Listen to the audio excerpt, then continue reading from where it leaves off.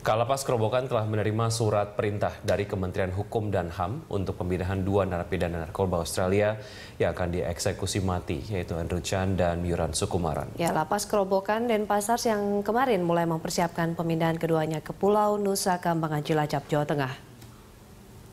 Waktu eksekusi dua terpidana mati Australia Andrew Chan dan Muren Sukumaran semakin dekat setelah lapas kerobokan menerima surat perintah pemindahan keduanya ke Pulau Nusa Kambangan.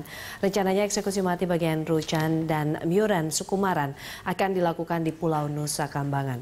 Kalapas kerobokan Sujonggo kini tengah melakukan berbagai persiapan untuk pemindahan tersebut. Sejak Kamis pagi, pengamanan lapas ditingkatkan. Personel tambahan dari Polres Badung ditempatkan di depan pintu masuk lapas Kalapas Kerobokan.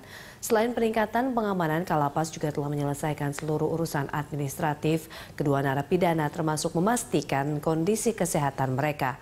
Kalapas kini hanya menunggu kedatangan jaksa eksekutor untuk menjemput kedua narapidana narkoba sindikat Bali 9 tersebut.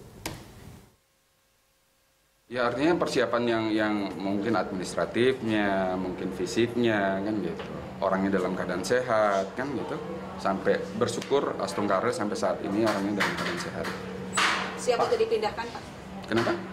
Awalnya siap untuk dipindahkan dulu? Iya, kita tinggal perintahnya aja. Perintahnya siap untuk